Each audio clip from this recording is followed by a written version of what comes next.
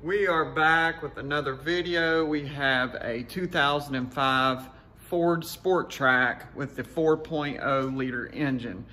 I just put an engine in this thing. It runs great, but now it's not charging. So I know this vehicle has been setting a long time. I can tell just by looking at it. So I'm not sure if it's um, the alternator. I was moving around a lot of wires in here and basically took the wiring harness off to replace the engine, just did all kinds of stuff. So we're gonna diagnose a alternator not charging, but we're not just gonna do it the simple way. Well, it might be simpler to me because I try to get a lot of data at once. We're gonna hook a scope up to all these wires on the alternator. Now, there is basically one, two, three, four, there's five wires going to this alternator. You got your B plus, which is your main charging wire, which is the fat red one. You have a battery sense wire that basically tells the computer if the battery's charging, you have a ground, you have another control wire. There's several, there's like five, I can't remember, but I have a, on shop info, I have a list of what each wire specifically should read. So I'm gonna try to get this little Ford Sport Trac fixed up. This is the last thing on it and I thought I'd make a quick video on diagnosing an alternator not charging, uh, sort of more of a in-depth wire by wire. So let's get it. So I have the scope hooked up to every wire on the alternator and each wire Here's a description of what each wire does. The uh, light green and red wire is the ignition circuit used to turn on the voltage regulator. This circuit is powered up with the ignition switch on.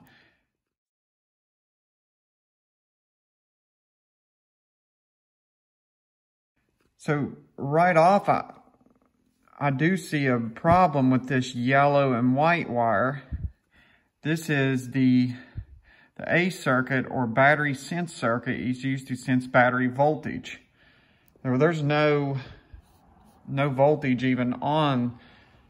So this brown trace on channel D is actually hooked up to this yellow wire. If you go down here with the ignition switch off, if you see there yellow and white, we should have 12 volts.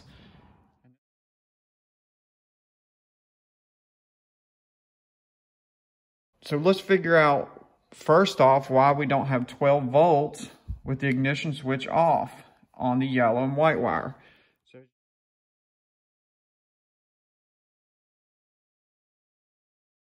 So, as you can see, I have my wires all hooked up to the plug-in to the back of the alternator. And this green wire, or this trace, is the one that's on channel, no, actually it's on channel C. So I'm sorry. So channel C has zero volts.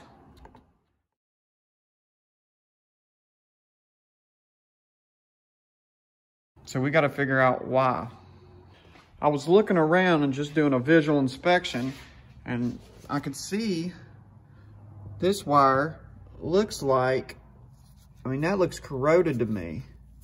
I bet if I pull this wire, and this is the yellow and white wire right here coming out. Oh yeah, there it is.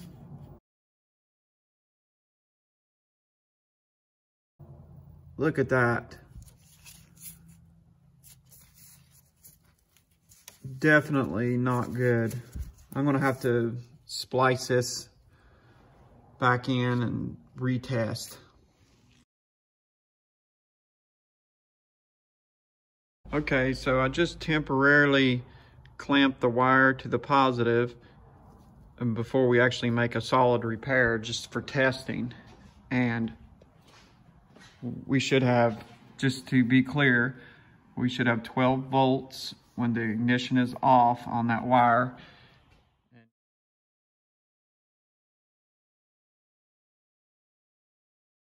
And now, as you can see, we're all the way up to 12 volts.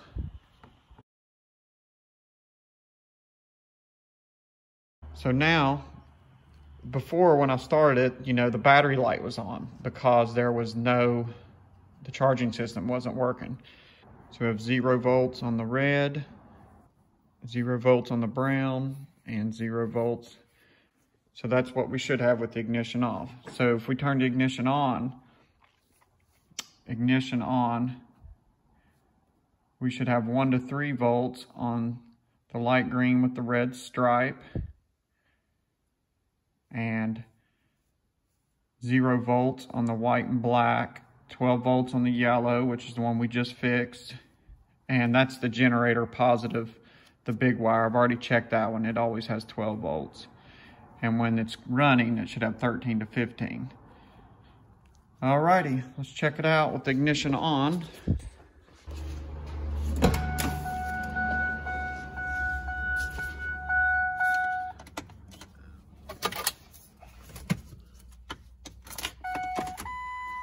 Now we're looking for one to three volts on the light green and red wire. So that is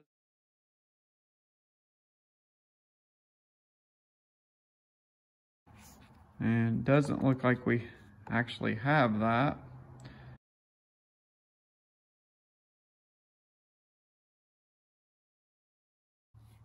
And then we're supposed to have 12 volts on the yellow and white, which we do. That's this one. And then we're supposed to have the engine running 13 volts. So let's just go ahead and crank it and see what's happening here.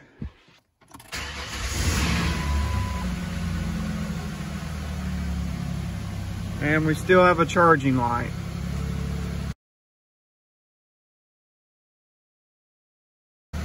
Got to figure out why that is. We got to look into it a little more. So what I discovered is we're actually shorted to ground.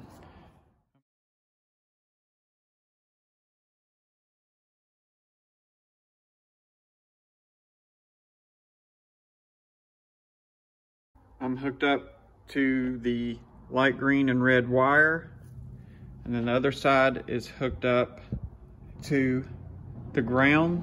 So when I turn this on, what I found is it's shorted right to ground. It's getting continuity right to ground. See, it's a dead short to ground.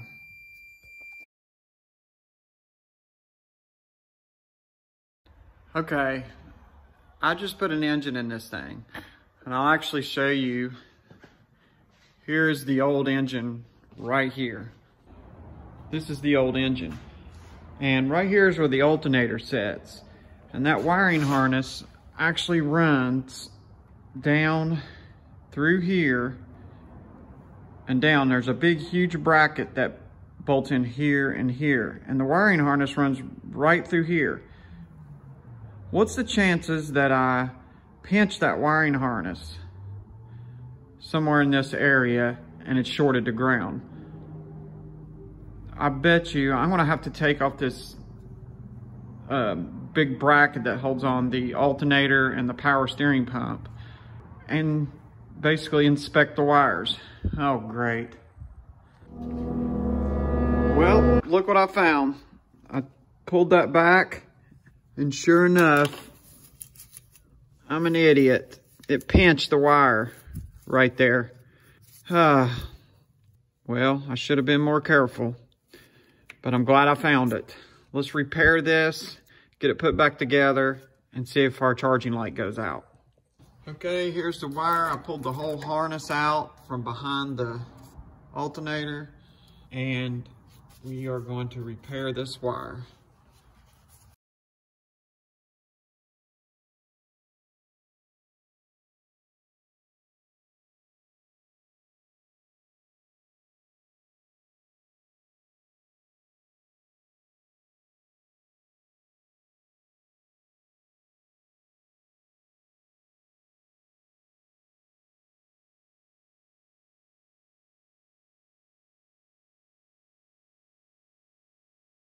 Okay, I've got it all put back together. I've repaired the wire.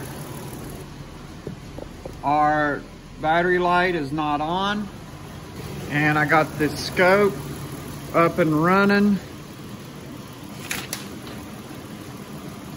So what we're looking at here is we got I got three wires plugged into the back of this connector right here.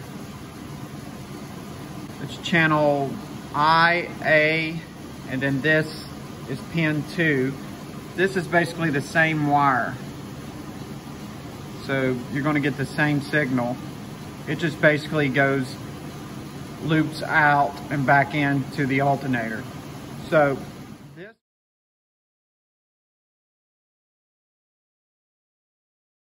signal wire here, it's a voltage feedback.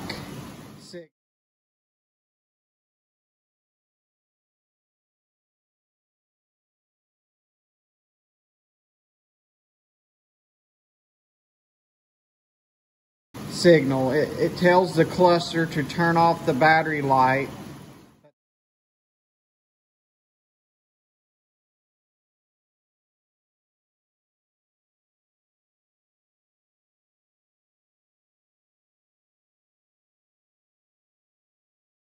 that the system is working normally. That's it. All that for a pinched wire. And uh, you might say, well, why do you hook up all these wires just to determine? Because I want to do it fast. I want to see all the all the signals at once, and uh, that way I can fix them faster. I, I just believe it's quicker to look at all the inputs and outputs that I can. You know, this circuit's a little bit confusing on alternators. They're, they all work a little bit differently, but um, yeah. Uh, if y'all enjoyed it, give it a thumbs up, and uh, I appreciate y'all watching. And I'll catch you on the next one.